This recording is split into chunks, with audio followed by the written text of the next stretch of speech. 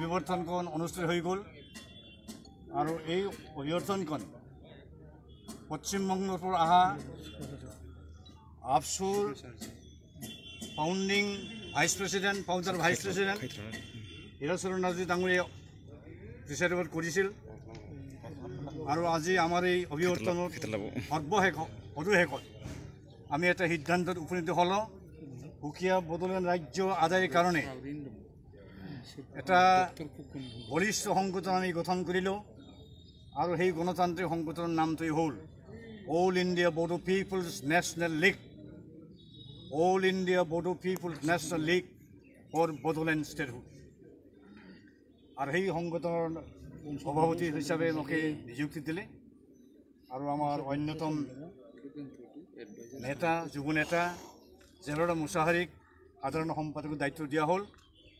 আৰু আমাৰ হীৰাচন নাৰ্জী ডাঙৰীয়া এজন অন্যতম এডভাইজাৰ হ'ল আৰু আমাৰ এজন আই আৰ এছ তেখেত জনল বসুমতাৰী তেখেতে এজন অন্যতম আমাৰ সংগঠনৰ এডভাইজাৰ হ'ল।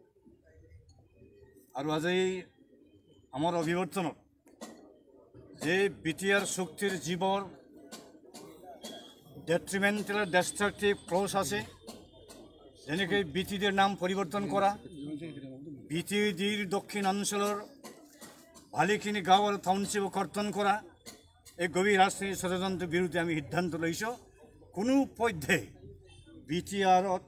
এ ডিত ইতিমধ্যে অন্তৰ্ভুক্ত হোৱা নথিপাত হোৱা কোনো এখন গাঁও বা টাউনশ্বিপ আমি কাটিব নিদিওঁ লগতে বড়ো ভাষাক অসম চৰকাৰে যোৱা সাত অক্টোবৰ তাৰিখে কেবিনেট সিদ্ধান্ত এক নম্বৰ সিদ্ধান্ত মতে কেৱল ৰাজ্যিক সহযোগী ৰাজ্যিক ভাষা হিচাপে স্বীকৃতি দিবলৈ যি সিদ্ধান্ত লৈছে ইয়াক আমি তীব্ৰভাৱে নিন্দা কৰিছোঁ। কিয়নো ক'লে বড়ো ভাষা দুই হাজাৰ তিনি চনতেই অন্যান্য ভাষাৰ নিচিনাকৈ সংবিধানৰ অষ্টম অনুসূচীত ইতিমধ্যে সন্নিৱিষ্ট হ'ল।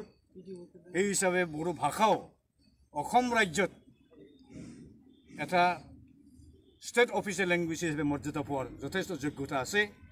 আৰু সেই অধিকাৰৰ পৰা বড়ো ভাষাক বঞ্চিত কৰি কাৰণে অথৰিকৃতে যোৱা সাত অক্টোবৰ তাৰিখত এই সিদ্ধান্ত অসম চৰকাৰে লৈছিল সকলো ক্ষেত্ৰতে অতি উন্নত আগবঢ়া আৰু জনসংখ্যা যথেষ্ট অসমৰ খিলঞ্জীয়া জনসংখ্যাতকৈ যথেষ্ট বেছি তেনেহেন পপুলাৰ ভেৰি ডেভেলপ আৰু উন্নত জনগোষ্ঠীক জবৰদস্তিভাৱে ট্ৰাইবেলৰ মৰ্যাদা দিয়াই অসমৰ খিলঞ্জীয়া ত্ৰিছ লক্ষমান জনগোষ্ঠীসকল ট্ৰাইবেল লোকসকল শেষ কৰিব বিচাৰিছে এই সিদ্ধান্ত আমি নিন্দা কৰিছোঁ।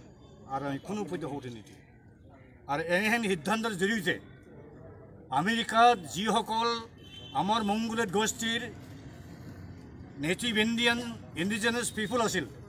সেইসকলক ইউৰোপীয়ান ছেটেলাৰবোৰে যেনেকৈ ধ্বংস কৰিছিল শেষ কৰিছিল ঠিক তেনেকৈ আমাক সেই একে সিদ্ধান্ত সেই একে পলিচিৰ আমাক শেষ কৰিব বিচাৰিছে। যেনেকৈ হিটলাৰৰ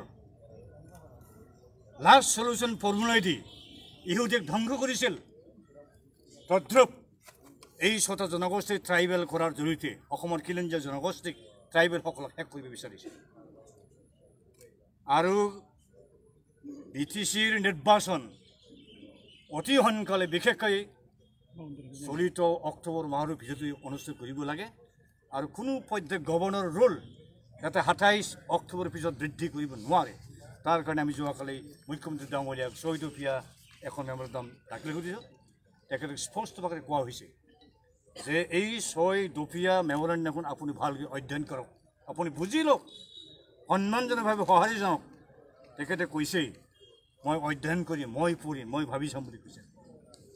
আৰু সদৌ শেষত এটা কথা দুখেৰি ক'ব লাগিব যে আমাৰ কিছুমান বড়ো ভাই ককাইসকলক যোৱা ন অক্টোবৰ তাৰিখত জবৰদস্তিভাৱে খু খৌখল কৰি ষড়যন্ত্ৰণা ৰচি ছশ সাতশজন মানুহসকলক বড়োসকলক বিজেপি পাৰ্টীক জবৰদস্তি সোমাই দিছে। আমি আপিল কৰিছোঁ। অনুৰোধ জনাইছোঁ যিসকল বড়ো ভাই ককাইসকলে ইতিমধ্যে বিজেপি সোমালে। যি বিজেপি পাৰ্টী বিজেপি চৰকাৰে অসমৰ বড়ো শ্ৰমিক খিলঞ্জীয়া ট্ৰাইবেলসকলক গোটেই ভাৰতত ট্ৰাইবেল শেষ কৰিব বিচাৰিছে বিভিন্ন ৰাজনীতি চক্ৰান্ত কৰি তেনেহেন পাৰ্টীৰ পৰা অতি সোনকালে ঘূৰি আহিব লাগে। আৰু কোনো বড়ো বা কোনো ট্ৰাইবেল মানুহ এই বিজেপি পাৰ্টীৰ অন্তৰ্গত নোহোৱাটো আমি বিচাৰোঁ আমি কামনা কৰোঁ। নহ'লে গোটেই অসমৰ নহয় সমগ্ৰ ভাৰতবৰ্ষৰ জনজাতিসকল নিশেষ হৈ যাব। বি টি আৰ নাম দি নতুন যে ৰাজনৈতিক ব্যৱস্থাপনা জাপি দিব বিচাৰিছে আৰু এই নতুন ৰাজনৈতিক ব্যৱস্থাপনাখন বি টি চি বা বি টি এ ডি যিটো ব্যৱস্থাপনা তাতকৈ যথেষ্ট নিম্ন স্তৰৰ তলৰ বি টি এ ডি আৰু বি টি চিলৈ যিমানখিনি ক্ষমতা প্ৰদান কৰা হৈছিল তাহাঁৰ ভাৰতৰ প্ৰধানমন্ত্ৰী বিজেপিৰ নেতা he was the founder president of BJP founder first prime minister from BJP party party তেখেতে গঠন কৰি দিয়া এই B T C B T ডিক সেই একেটা বিজেপি পাৰ্টীৰ প্ৰধানমন্ত্ৰী গৃহমন্ত্ৰী আৰু অসমৰ মুখ্যমন্ত্ৰীসকলে যে নিষেধ কৰি দিব বিচাৰিছে আমি সেইটো কোনো প্ৰত্যেক গ্ৰহণ কৰিব নোৱাৰোঁ। নাই। বিকল্প উপায় নাই। আমি দিল্লীলৈ মেমৰেণ্ডাম প্ৰেৰণ কৰিম নতুবা দিল্লীলৈ গৈ আমি প্ৰধানমন্ত্ৰী আৰু গৃহমন্ত্ৰীক লগ নাপালেও মেমৰেণ্ডাম দাখিল কৰি আহিম ষ্ট্ৰেটেজি ল'ম মবিলাইজ কৰিম জনগণৰ ৰাইজ যেতিয়া একত্ৰিত হ'ব গণতান্ত্ৰিক সংগ্ৰামটো বাছ হৈ থাকিব। সময় ল'ব। মবিলাইজ আৰম্ভ কৰিব। আজিৰ পৰা আৰম্ভ হ'ল মবিলাইজেশ্যন কি কি দল থাকিব ইয়াত? অৰ্গেনাইজেশ্যন কি কি থাকিব? আমাৰতো ইতিমধ্যে ইণ্ডিপেণ্ডেণ্ট সংগঠন বনোৱা হ'ল। যাৰ নাম All India Bodo People National League for statehood Bodoland statehood আৰু আমি আপিল কৰিম যিসকল যিবোৰ পাৰ্টি বা যিবোৰ ব্যক্তি বা সংগঠন বড়োলেণ্ড সুকীয়া ৰাজ্যৰ দাবীক স্বতঃস্ফূৰ্তভাৱে সমৰ্থন জনাব তেওঁলোকৰ সমৰ্থন আমি বিচাৰিম। আমি আপিল জনাম। আন্দাজে মুন্দাজে আমি কাকো সমৰ্থন নকৰিম